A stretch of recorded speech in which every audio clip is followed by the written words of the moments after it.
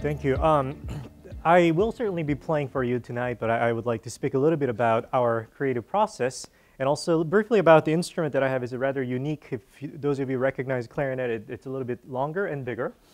Um, so I first want to sort of clarify the role of uh, performer because I, I think it, when you think of a performer, it's it's a role of kind of replicating what's already been done many, many times, belongs to a, a, museum. And I think really nothing can be further from the truth.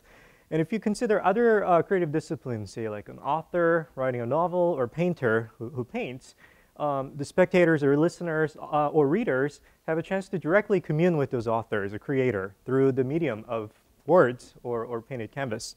Um, however, in, in, in, music, uh, the composers write score but really, the, the actual product exists in conceptual form. It doesn't exist in our, our uh, time and space. So the, the, the process of uh, interpretation actually happens twice. So what the composers have written down, the performers study in various forms, and, and, and then the actual product is produced in real time, in, present. So i will be playing a piece by Mozart, who died a long time ago, 250 years ago. Um, but um, even though the score has existed for many hundred years, it is actually coming into the reality at this very moment. So I think it's, it's something that we all have to keep in mind. It's, it's very significant. Um, just going back to this a little bit, so I sort of named this process a uh, transcendental collaboration because I am actually collaborating with uh, Mozart in this case. And um, it's a very heavy responsibility and also opportunity for, for the audience because what's happening is one of these great composers of our civilization uh, wrote this piece at the later time when he's very mature and, and refined. So we, we are sort of seeing this uh, very best of ideas maybe ever existed and that exist in conceptual form that is literally being brought to life at this very moment and you're taking a part in that as well. Um, just to, to move on with time, I'd like to talk a little bit about the uh, Clarinet Concerto. It's arguably the most famous piece ever written for the instrument, and um, it has a lot of interesting stories. The, the biggest problem for us is that the, the manuscript of this uh, concerto was lost during the course of uh, history. In fact, very early on. Uh, Mozart wrote this for his great friend and clarinetist Anton Stadler, um, and Mozart was very generous to him. He loaned him money, um, gave him this manuscript to pay for his bills. Stadler was not that nice.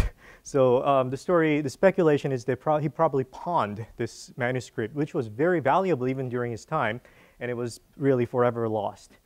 Um, so really what exists uh, left uh, for us is a sketch of his earlier sketches we called uh, Winterthur sketches. It, it's in Switzerland and um, earlier editions of the work.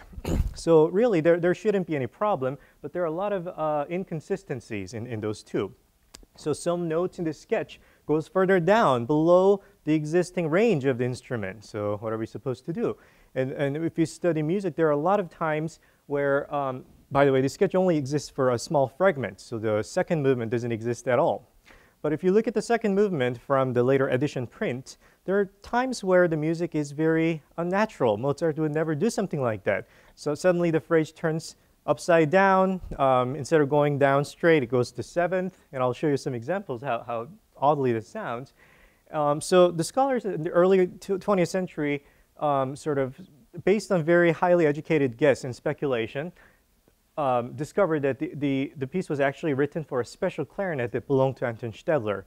Being one of the first virtuosos of the, the instrument in um, late 1700s, he sort of asked the instrument makers to make a super clarinet for himself. So it's not a conventional instrument. And we only have sketch, a vague sketch of the instrument that looks like that. Um, the actual instrument does not even exist. Um, so there is some historical reconstruction of that instrument that looks like that. Um, and you can probably see that it looks really odd. It's very difficult to play, not highly practical. So um, th there are modern recreation of that instrument that enables performers to play lower so that we can actually play this, the, the score as it is written. And um, that's the instrument that I have. I think I exaggerated a little bit when I said only 30, probably hundreds, but it's very rare because the instrument only is there to, uh, to, to play for the Mozart concerto or quintet, and um, very few people would uh, buy a very expensive instrument for that purpose. Um, I had a very fortunate instance to acquire this for myself. So um, I'll just show you one example where um, the, the modern edition of the uh, second movement, one passage that goes like this.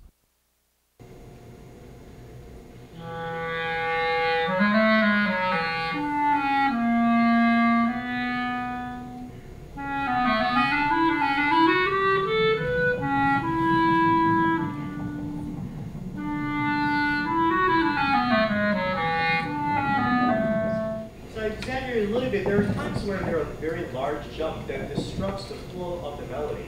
Now listen what we, the, the clarinet can do. And this is, by the way, the regular range of the lower range of the clarinet. And the bass clarinet enables us to go down even further. It's a marvelous sound, isn't it? so I'll replay that, that particular section, see how it, it, it can sound.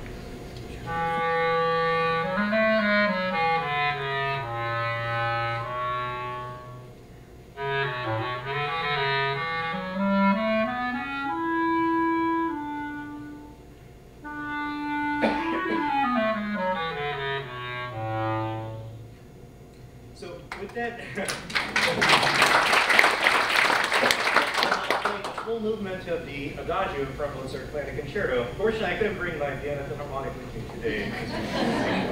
so I have a pre-recorded version of an orchestra, and this wonderful team here actually worked it for me so that I can play alone. It's quite uh, an interesting experience.